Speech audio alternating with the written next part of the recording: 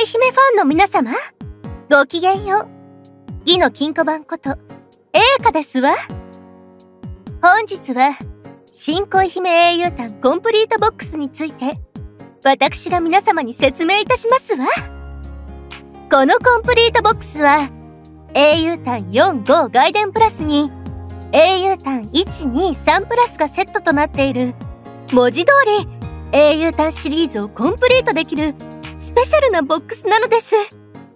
またコンプリートボックス限定で数々のグッズに加え取り下ろしのドラマ CD も付属しますのよ。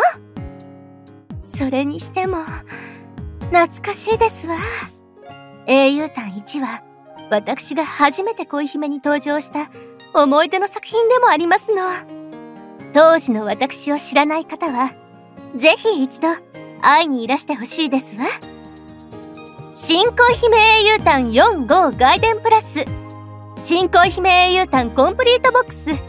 発売まであと12日にございます。明日はああのお方ですか？皆様お気をつけて。